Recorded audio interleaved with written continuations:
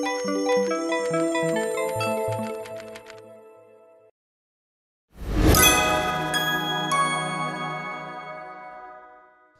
everybody. Adam Parks here with another episode of Receivables Roundtable. Today, I'm here with my friend Jason Hiland from Attunely.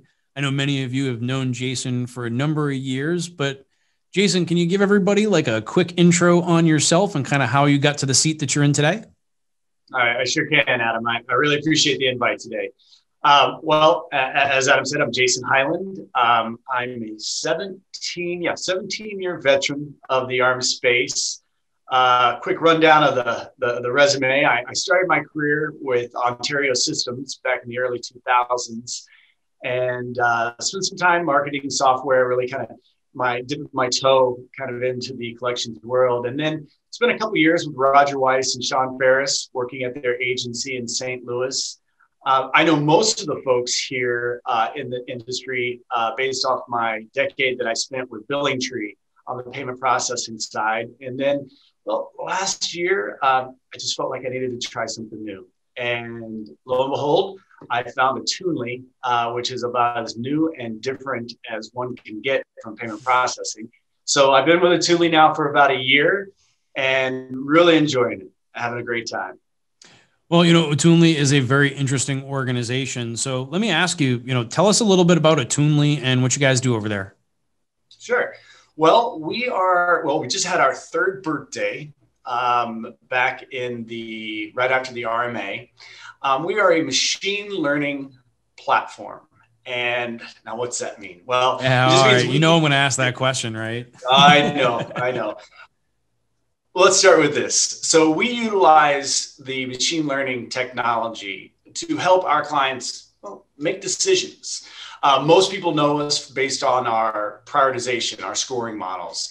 Um, but in reality, there's really no shortage of decisions that collection agencies, debt buyers, and creditors need to make. And we can leverage their data in a multitude of ways to help them make those decisions. So, for instance, I already mentioned the prioritization models mm. uh, to help them determine what accounts to contact. But we also have other models like uh, time of day, so when to contact specific accounts.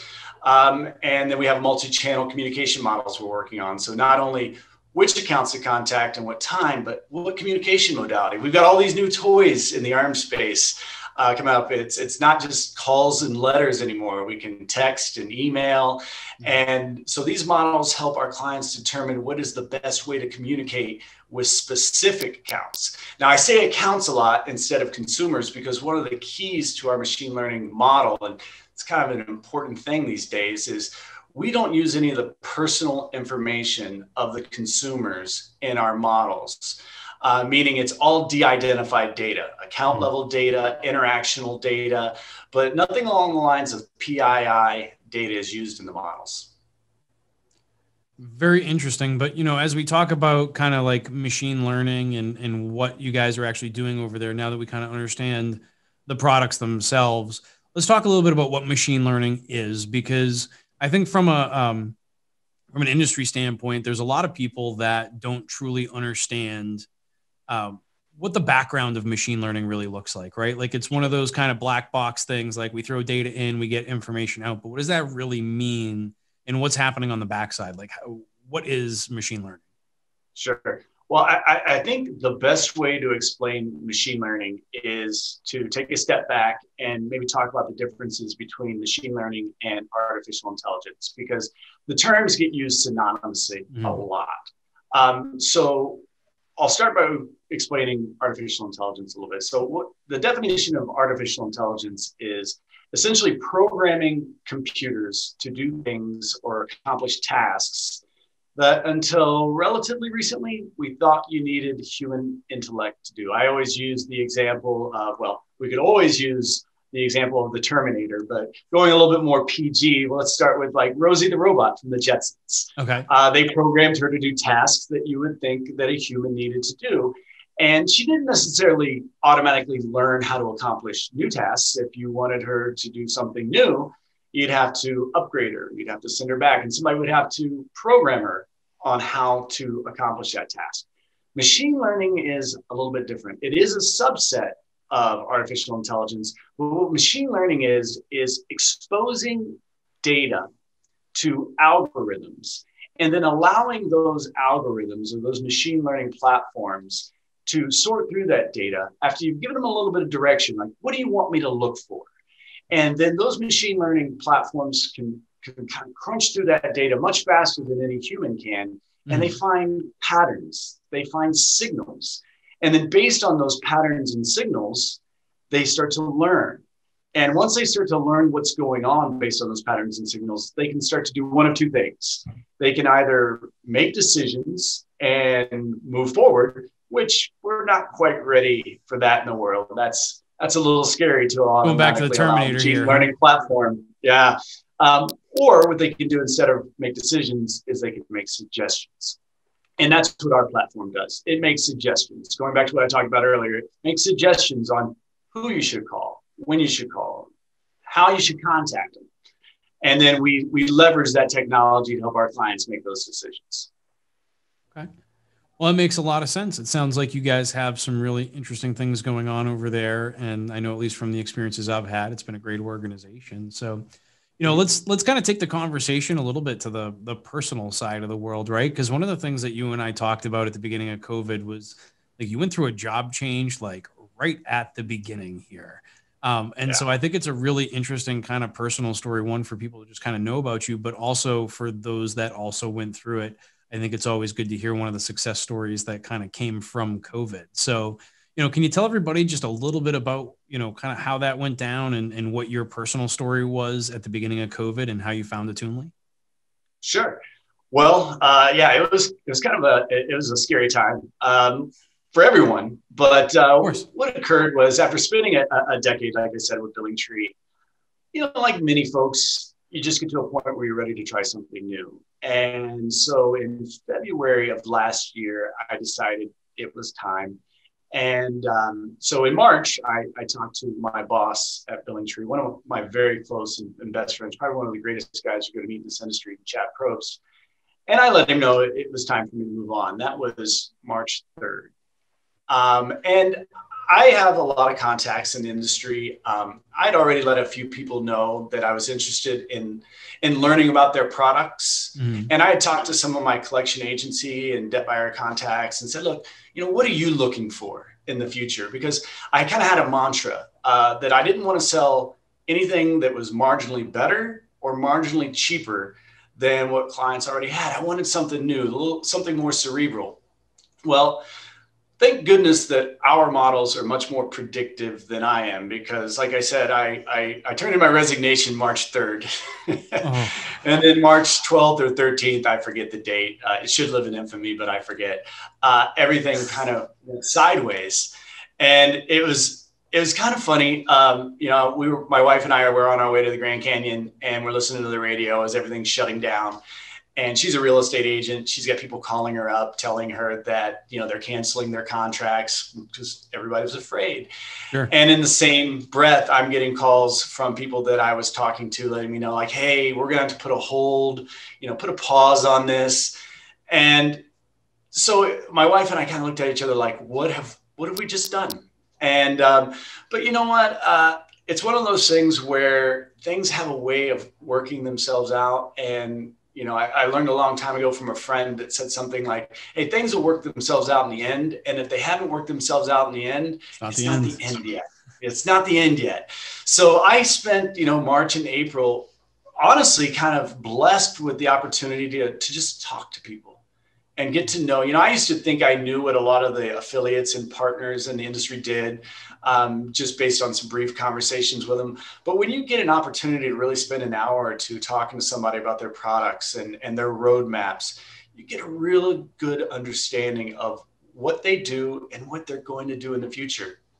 And when it came down to it, Attunely just, it was just a product, a company, an entire situation. I'd never worked for a startup company that just really rang true to me and I was very excited. Uh, I was a little worried the timing wouldn't work out uh, with mm. COVID and everything else, but I am what we kind of refer to around the, co- the company as the COVID baby. I was the first one they brought on during COVID, and I haven't met most of my uh, coworkers just yet. We got a we've got a celebratory party coming up at I think at the end of the summer where we're all going to get a chance to meet each other.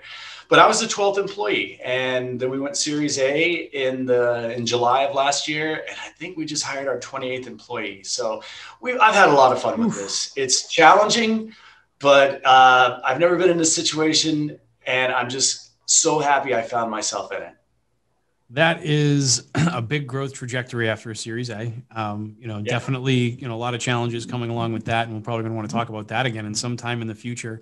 Um, you know, but one other thing I just wanted to kind of cover with you because you know you you and I have done uh, a lot of video together, um, or really not together, but we've done a lot of video um, independently, and this is the first time that we're actually coming together to together to do a video.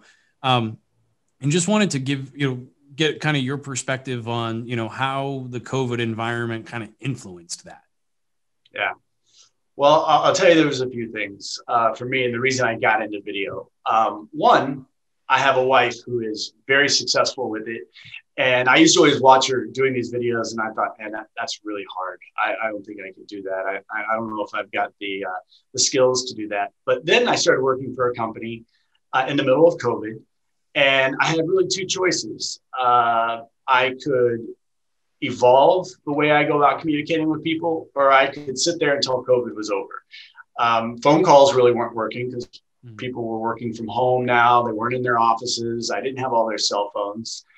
Emails, well, I mean, emails only take you so far. We didn't have conferences, which are one of my favorite sales channels because it's just where you get to really intimately know some people. And so I had to find a way, um, a different channel to communicate with folks. So I decided to just hook up a camera, um, got a few pointers from my wife, and I, I, started making videos. And you know, I get some people ask me sometimes, like, "Oh, wow, you, you do that all in one take? That must be so hard. You must." Well, I can tell you what. If I showed you the blooper reel on my iPhone uh, for any two-minute video that I do, there's probably about 80 in there that uh, would make a sailor blush. Um, uh, never fails, you know, the, the Amazon guy shows up and our dogs lose it.